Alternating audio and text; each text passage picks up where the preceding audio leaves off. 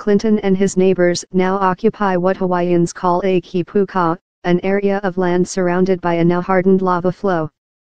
He and other newly returned residents say they moved back because they can live inexpensively in a benign climate with beautiful surroundings, even if it's under one of North America's most active volcanoes.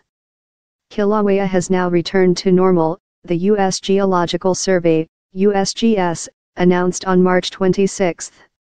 It's a new normal for returning residents. Not all of them are looking forward to it. Pauline and Eddie McLaren were cleaning their house of soot left by brush fires. The couple also lived off the grid, getting by on a small pension and pasturing horses on their three-acre, lot life wasn't easy and they had planned to sell their home before last year's eruption. They think the property is almost worthless now. The bottom line is, we came back because we had nowhere else to go, Pauline, 78, said. Now I don't think we'll ever leave the couple received $4,000 in rental assistance from the Federal Emergency Management Agency and $9,000 from the Small Business Administration to repair the pasture fences burned in the brush fires, she said. Pauline is not afraid of another eruption because she doesn't expect to be alive for the next one. Next stop, 6 feet, she quipped, pointing at the ground below her feet. Psychological challenge She says the main challenge is psychological, she tries not to think about the ridges of cooling lava that now surround her neighborhood.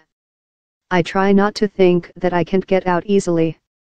During the eruption, fountains of lava from some 22 ground fissures created molten ridges of up to 20 feet, 6 meters, high, and in places cinder cones up to 50 feet, 15 meters, high.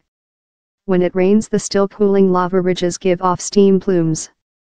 Ingrid Webb, 34, says she and her husband and four children are also delighted to be able to drive back to their 15-acre, 6-hectare, organic farm.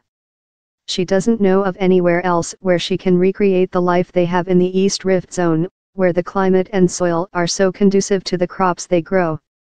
The main headache she says is access into the community on the makeshift road, which only residents can use for now, not repairmen, or farm workers. But it's all worth it, she adds, This is our future. This is our kids' future. The farm is my kids' college fund.